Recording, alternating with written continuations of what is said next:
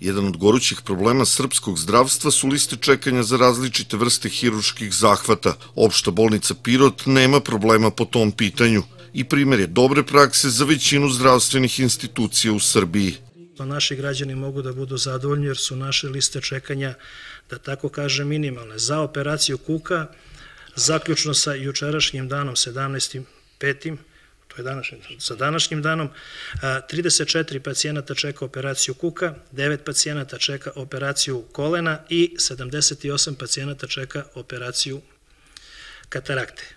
Imajući u vidu da smo usavršili, odnosno da radimo sve vrste proteza kuka, ovo nije veliki broj ljudi, jer od tih 34 e, pacijenata, ako se zna da se rade pet vrste proteza, možemo da dođemo do nekog proseka da je to manje od 10 pacijenata po vrsti proteze. Ako bi se računalo vremenski, na hiruške zahvate se ne čeka duže od dva meseca dva meseca najviše, imajući u vidu što moram da napomenem da služba ortopedije sa traumatologijom u opštoj bolnici posluje u punom obimu svog naziva. Znači, radi se kompletna traumatologija.